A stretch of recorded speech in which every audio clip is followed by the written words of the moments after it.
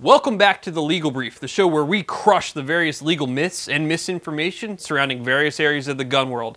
I'm your host, Adam Kraut, and today we're talking about marking your Form 1 NFA firearms. I talk all the time about having fun while you train. Well, RE Factor Tactical knows how to have fun with their Menace to Society target packs. Included are some of the most hated a-holes from the 21st century, like Gaddafi, Hussein, the boys and the father, and a bunch of others in the ISIS flag too, because F them, right?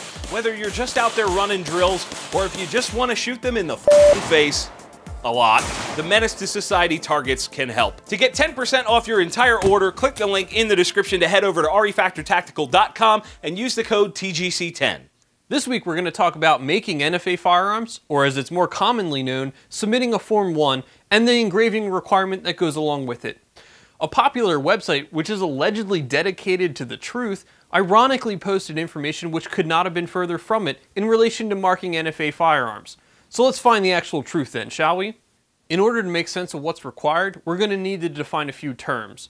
I'll be sure to provide links to the sections of law, regulations, and the ATF ruling that I'm going to reference in the description down below. Get ready for some mind-numbingly boring definitions which are necessary in order to help you understand what's actually required. Hopefully you don't fall asleep or throw your phone across the room some kind of fit of rage. We'll start by looking at 26 U.S. Code section 5845, where the definitions for the National Firearms Act are found. Subsection I defines the term make. Yeah, we actually got to define the term make. The term make and various derivatives of such word like make, making, makes, maker, shall include manufacturing other than one qualified to engage in such business under this chapter putting together, altering any combination of these, or otherwise producing a firearm. So make means make. Got it. Cool. Good. Moving on. Subsection M defines the term manufacturer, which means any person who is engaged in the business of manufacturing firearms. So manufacture means manufacturing for business. Simple enough, right? Why is this important? Well, simply put, the law differentiates between those engaged in the business of manufacturing firearms and those who are not. An individual like myself or you, or a legal entity like a trust, corporation, LLC, or partnership would make, not manufacture, a firearm. Turning to 26 U.S. Code Section 5842, which regulates the identification of firearm, we see that anyone making a firearm shall identify the name of the maker and other such information that may be prescribed by regulations.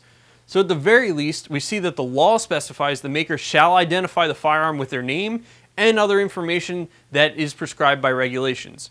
Alright, so we have to mark the gun, but what do the regulations say we have to do? Looking at the definition section in the regulations, which are found at 27 CFR 479.11, again, there are links in the description box down below so you can see this stuff, we see that the regulations define the term make and manufacture the same as the law itself. So what does that mean for you? Well, nothing really, but this reinforces that there is a difference between a person engaged in the business of manufacturing and someone who is not. However, none of that matters for the next part. You still awake? Not banging your head against the desk yet? Good. 27 CFR 479.102 regulates how the firearm must be identified. The part we care about states that you, as the maker, must legibly identify the firearm as follows. By engraving, casting, stamping, or otherwise conspicuously placing on the frame, receiver, or barrel thereof certain additional information. In other words, you have to mark the gun. And what you read on the internet was a lie. Imagine that. The additional information referenced before includes the model, if such a designation has been made, the caliber or gauge, your name, or if you had a recognized abbreviation of it, and in the case of a domestically made firearm, which all the ones you're going to be making are, the city and state or the recognized abbreviation thereof, where you, as the maker, made that firearm. However, in most cases, you only need to worry about engraving your name, city, and state, as the ATF published a ruling back in 2013 that makers may adopt the serial number, caliber, or gauge and model already on that firearm without a marking variance, provided a number of conditions are met. So again, in most cases, you only really need to worry about engraving your name, city, and state.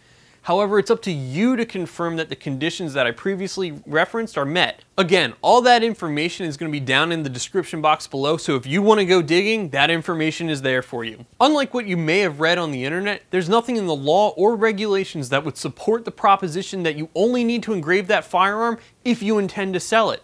As with everything you read on the internet, you should always look for source material to see whether or not what you read is actually supported by anything.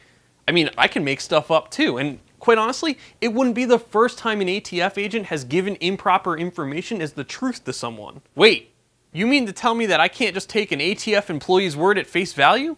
Yeah, that's what I'm telling you. Hopefully that clears up some of the misunderstanding about marking your Form 1 NFA firearms. If you have a topic you want discussed on this show, let me know down in the comments below. I will be reading them. Make sure to like the Gun Collective on Facebook, Instagram, YouTube, Full30, Snapchat, and wherever else you can catch us on social media. And as always, thanks for watching.